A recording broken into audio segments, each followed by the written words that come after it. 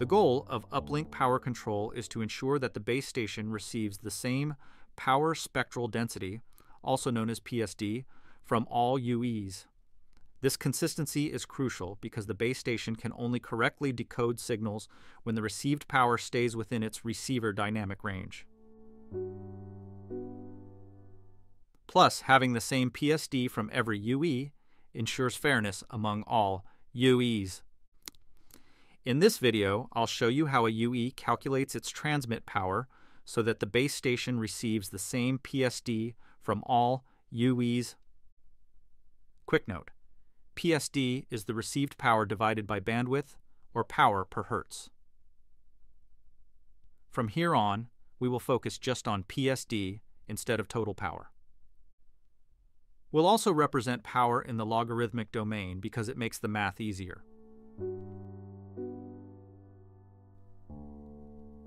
The received power by the base station from a UE drops as the distance increases.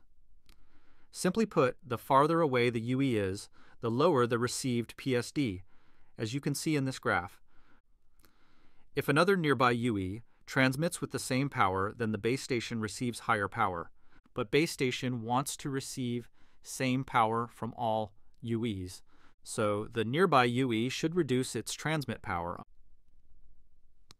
Now, you might be wondering, how does a UE figure out its transmit power so that the base station receives the same power from everyone? Here's how it works. First, UEs calculate its path loss by measuring some pilot signals from the base station. The base station also tells the UEs its target PSD, called P0. Then, the UEs set their transmit power to P0 plus the path loss. Pretty straightforward, right? Not exactly. There are two main problems we need to tackle. First, a faraway UE ends up transmitting at a very high power, which drains its battery and causes a lot of interference to neighboring cells. To fix this problem, the base station can ask the faraway UE to lower its power while keeping the nearby UE's power roughly the same. But the base station doesn't want to send individual power reduction commands to every UE because that would create too much control overhead. Instead, it uses a simpler approach by sending a single parameter called alpha to each UE. Each UE then multiplies alpha with the path loss when calculating its transmit power. This way, faraway UE's power is reduced more than that of nearby UE's. For example, if alpha is set to 0.5. Uh, faraway UE will lower its power much more than the nearby UE. In other words, if alpha is less than 1, we're only partially compensating for the path loss. This is known as partial path loss compensation, or fractional power control. On the flip side, if alpha is equal to 1, it means we're fully compensating for the path loss. So far, so good, right? Now let's talk about the second problem. The base station might be getting high interference from UEs in neighboring cells, which can prevent it from correctly decoding the signals, even though the received PSD from its UE matches to the target PSD. So the base station needs to ask the UE to increase its power by sending a TPC command. This TPC command can also be used to decrease power if the interference levels drop later on.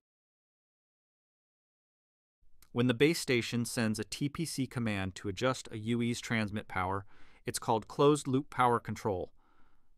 It's called closed loop because the base station is actively giving feedback to adjust the UE's power based on what it receives.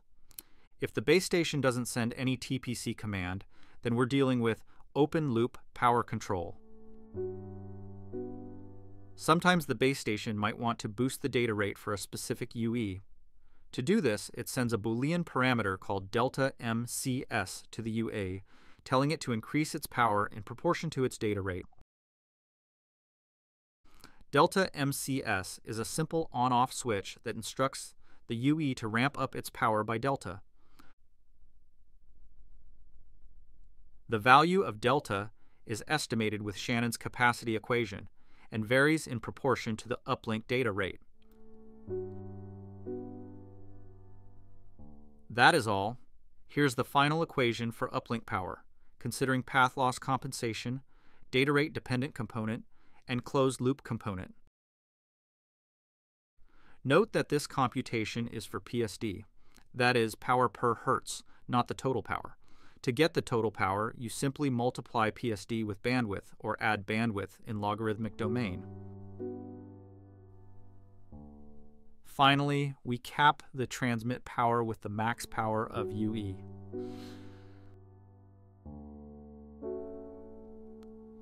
Now, does this complicated equation from the 3GPP document make sense for you? I hope this video helps you to get a basic understanding of the power control algorithm in 5G. Thank you for watching.